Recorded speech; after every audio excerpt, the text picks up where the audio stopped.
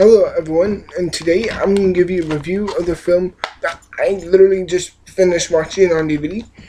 Um, and that is the 2011 film Warrior. And this film is fucking phenomenal. Simply put word for it, it is phenomenal. Like, I got this from the library and look what it says on the, on the cover of here. It says, as powerful and unforgettable as Rocky fiercely moving. It really is. Now, the story basically goes like this. Um, there's a father played by Nick Nolte, and he, he used to be this type of trainerist, trainer um, for workout people. And he has two sons played by Tom Hardy and Joel Edgerton. And um, basically, Joel Edgerton's character is the older brother um, to Tom Hardy's character, and Joel Edgerton's character is basically a teacher who um, used to be a workout builder. Uh, he's a, he used he was a teacher at a high school who was also once like a trainer at a gym, and his brother Tom Hardy is a ex is an ex U.S. Marine.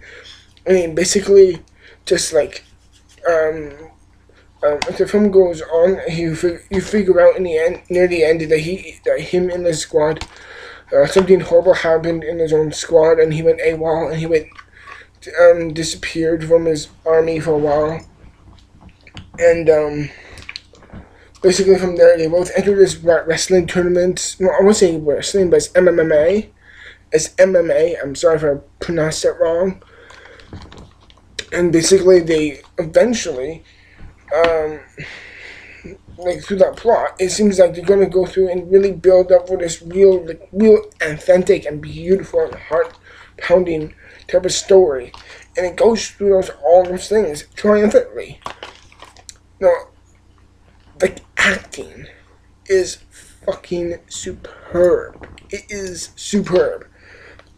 Uh, Nick Nolte is unbelievable. There's a scene when in this film when when him and Tom Hart, Tom Hardy are in a hotel room, and I think uh, Nick Nolte I think is quoting the Bible in a certain verse, and in the way he and, and is listening to, to a tape recorder, and it, the way he puts, pulls out such an emotional anguish, and so it's so emotional and so heartbreaking. I'm just like, oh my gosh, like he's putting in so much effort. He really wants just wants the best and forgiveness and just an overall heartwarming, um, like, um, apology from both of his sons towards him and towards each other. He just wants that balance again between for his sons. Uh, Tom Hardy is, in my opinion, probably the standout performance in my in this film. Like he really seriously impresses impresses me. I loved him in Inception. I thought it was in that film, in Inception, he was a very much of a wisecracker character. The this film, he was just like totally serious and totally straight. And he also played Bronson, Charles Bronson, in a, in a film called Bronson, and that film was unbelievably great. He was monumentally amazing in that film.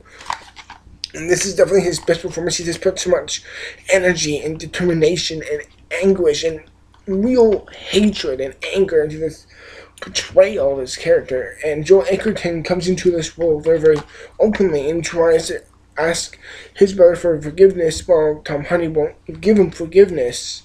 He just wants forgiveness for his own sake. And therefore, you can never. I love that. Like how I said with Donald Planet the Apes, is that they there's never pointing of the finger. You can see both these sides of these perspectives, and there, there's never a determined hero, and there's never a determined villain. It's like you can understand both of their sides and both of their motives, and it's so spectacularly done well. It's just emotion, and like, Joel Edgerton really puts in this really uh, real heartwarming and very open and very very kind type of character for him. And well, Tom Hardy is much more of a hard ass character.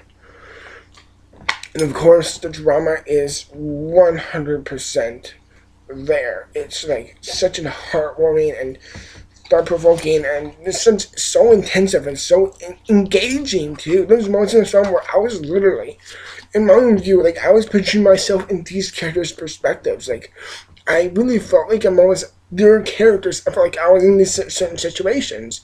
I felt like I was I was these characters going on a certain journey. I felt like experiencing the emotional um, triumphs and fall downs, which was monumental to feel. And when the film can put you in the story's perspective, like when you get so engrossed into the story, you feel like you become the story, even though you're actually not. Like, that's son of film that's doing a fucking phenomenal job.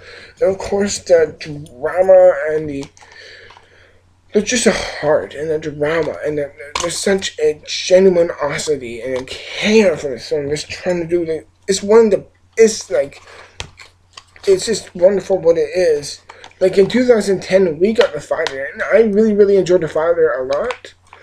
But in my opinion, like this is like this is way better than the fighter. Even though I did really, really enjoy the fighter, this film surpasses it, and I think this is the best boxing movie since a Million Dollar Baby. And that's one of the best, well, that is one of, the of Clint Eastwood's best movies. And the, there's just such an anguish and a feel of um, a real, real tenacity and a, such an anger and such a great feeling you get through this film. Of you get this certain um, feeling of forgiving the ones you've done wrong in the past and not and you shouldn't be willing to hold on to these grudges. You shouldn't be holding on to linger on what they've done for so long. Is that you gotta understand that they're human? And eventually at some point or another either you believe it or not they are going to change and they are going to realize their mistakes and they are going to realize that you gotta understand that and the film just puts it to the real nth degree it shows through all things you can find forgiveness, even in the worst of people, even in family, even in friends, even in siblings. And it just puts that to the absolute 100% greatest in this film. And you really, really believe Joel Edgerton and Tom Hardy as brothers, and uh, Nick Nolte as their father. And um, it's just wonderful. Also, the cinematography in this film.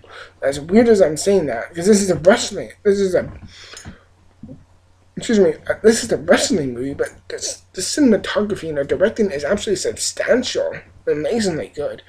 Okay, I will admit, like, there's some moments where it's kind of like, um, there's a scene when Tom Hardy and Joel Edgerton are meeting each other for the first time since uh, Tom Hardy characters left, like, for a long time ago, and then meeting each other first time on the beach, and there's, like, the shaky cam is, like, that could get a little distracting, but you can, in my view, I can kind of forgive that because the film is just trying to be so grounded and so realistic and so just accurate what these characters were truly going through at that moment. And I think this is absolutely phenomenal. Um, and also, I just feel like such an, like, in the end, I feel like, I wouldn't say this as a bit of a flaw. As much as I loved these also the fights. The fights were absolutely amazing. I'm sorry getting off film like that. The, the fights were absolutely fantastic. But the reason this kind of let me do another film in the film to within this film, and that is, um, as much as I love seeing these two characters fighting other characters, you get a good sense of that these are two brothers entering the same type of tournament. And eventually, in the end, like how the trailer shows you, if you've seen the trailer, if you've seen the movie or not, is that you know eventually, in the end, they do end up fighting. And as much as I love watching these two, Joel, Joel, Joel Edgerton's character and Tom Hardy's character fight with other people in this in this movie, as much as I love finding as much as I love watching it and as much as I get involved within it, there's a sense of, yeah, I know how it's going to turn out. And in the end, I kind of don't care. But I, I like, I still care about the action. I still come, I, I still care about the carry out they come through within that success of finding other people.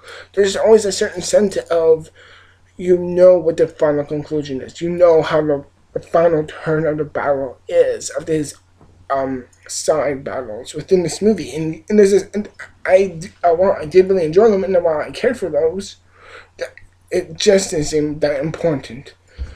Well, it does. It, it is important because you need to show that evolution. You need to show that growth. And these, you need to show these certain triumphs they go through to, to deserve to get to a certain placement within the MMA to really deserve to get fight against each other. And there's moments when both of these characters are very, very close to getting knocked out, but you're just like, yeah, I know in the end they're fighting each so I kind of, I kind of roll my eyes at that. And that for me is a, is just a tiny, when we say a tiny bit of distraction, but I would say that is a bit of a flaw I do have the film. But aside from that, this film is one of the best of 2011.